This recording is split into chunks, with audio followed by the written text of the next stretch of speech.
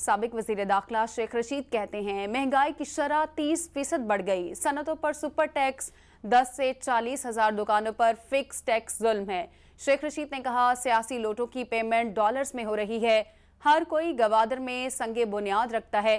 तामीरत नहीं करने दी जाती। उन्होंने मजीद तनकीद का निशाना बनाते हुए कहा, मुल्क में कफन और कबर का रेट दुगना हो गया है। गरीब का मसला, महँगाई, शहबाज शरीफ का मसला मरी हाईवे है।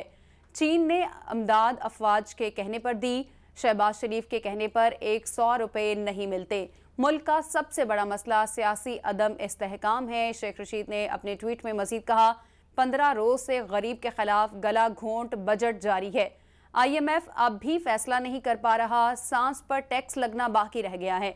जमात इस्लामी की महँगाई ट्रेन मार्च की हमायत करता हूँ, शेख रशीद की जानब से ये ट्वीट किया गया है।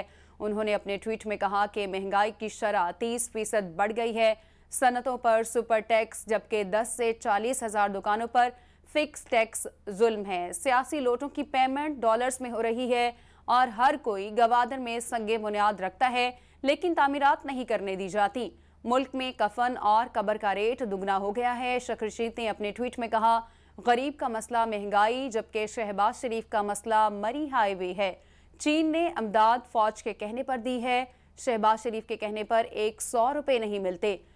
मजीद कहा कि मुल्क का सबसे बड़ा मसला सियासी अदम इसकाम है। पंद्रह रोज से गरीब के खिलाफ गला घोंट बजट जारी है। आई एम एफ़ अब भी फैसला नहीं कर पा रहा।